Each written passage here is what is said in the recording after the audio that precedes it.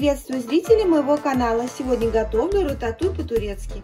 Мне понадобится один баклажан, два картофеля, два болгарских перца, два помидора, два зубчика чеснока, говядина 500 грамм, зелень, один репчатый лук, соль, перец, масло растительное, томатный соус 3 столовые ложки, вода кипяченая 300 мг, сахар 1 столовая ложка.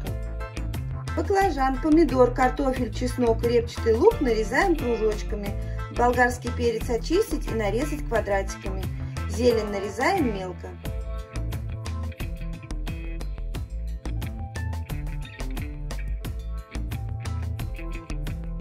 Говядину нарезаем пластинами. Берем форму для запекания, наливаем растительное масло.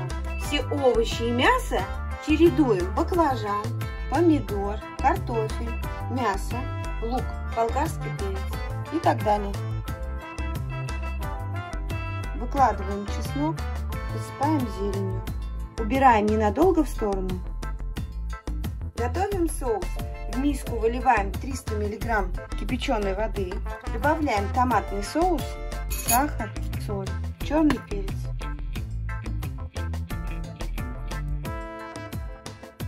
Хорошо перемешиваем до полного растворения сахара. Выливаем соус в форму с овощами. В разогретую до 200 градусов духовке сначала ставим блюдо на 15 минут, затем уменьшаем градус духовки до 150, запекаем до румяного цвета еще 35 минут. Увидела рецепт этого блюда и сразу захотелось приготовить.